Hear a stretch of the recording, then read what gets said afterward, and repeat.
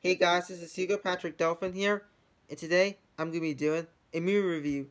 So for this movie review, I'm going to be, be reviewing an animated movie from 2005, and this movie is was made by DreamWorks. and It's also one of DreamWorks' best franchises, and that is Madagascar. So the plot of Madagascar is basically have these four animals, which is Alex the lion, Marty the zebra, Gloria the hippo, and you have Melman the giraffe. Melman the giraffe. So yeah, and then basically they all are they all they all live in this zoo, in the Central Park Zoo in New York City, and basically Marty was celebrating his 10th birthday, but while but before his he was celebrating his 10th birthday with his friends, um, he's he meet, he meets the penguins, which are known as the penguins of Madagascar, who based you know as Skipper, Kowalski, Kowalski, Rico, and Private, who basically told him that they were that they were going to the wild, which and they were going to Antarctica, and they and me so Marty thinks it was a good idea to go to the wild, so so he told his friends that his birthday wish was to go to the wild, but his friends didn't like that agree, especially Alex, who basically is basically the lion, and and yeah, so basically while so basically while his while his friends so basically at the night on the night of his birthday, his he's he he actually sneak out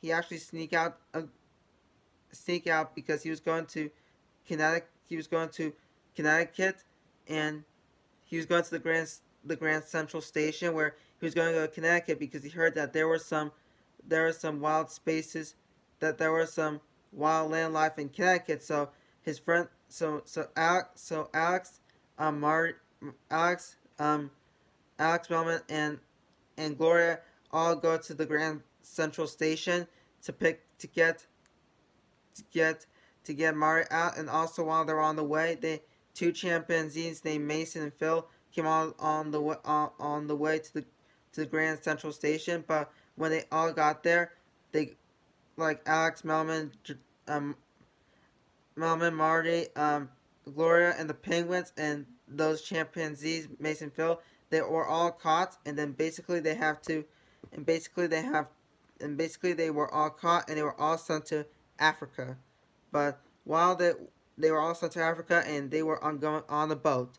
But meanwhile the penguins took control of the boat and they actually dumped um um Alex, Marty, um, Melman and Gloria on the ocean and basically Alex found Alex found some and when they were on dumped on the ocean um, Alex finds himself in on, on the Madagascar on Madagascar uh, shore to Madagascar. So when Alex was so when they they basically all meet in in that in the in, in on Madagascar the four anim the four the four um animals they all met in Madagascar on Madagascar and meanwhile meanwhile they while they were on the Madagascar they met this um as this lemur a pack of lemurs that are led by this lemur named King Julien, who basically that the, all those lemurs are scared of these of these animals, which are the which are scared the the Fossas. Yeah, those are like the antagonists of the film, the Fossas. So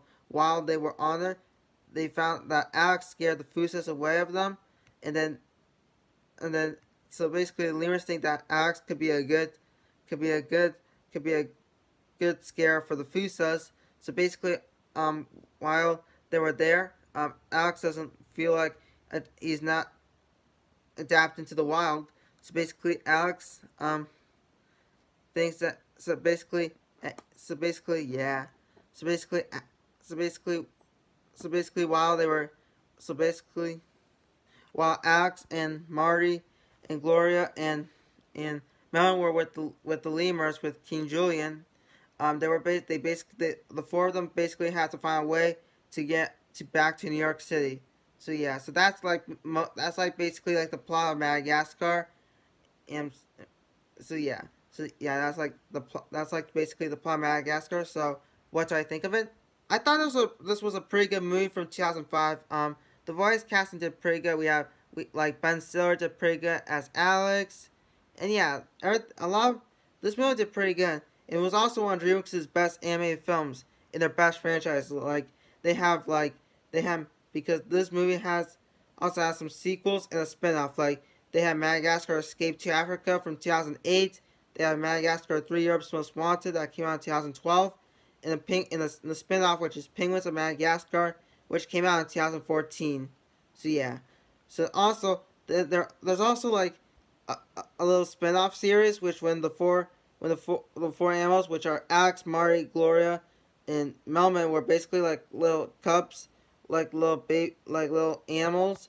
It's called Madagascar a Little Wild, which premieres on on Peacock. Which to me, I think it's it's an okay series. And yeah, so if you so yeah so so yeah so the movie did pretty did good, and the movie did good, and yeah the the animation was good.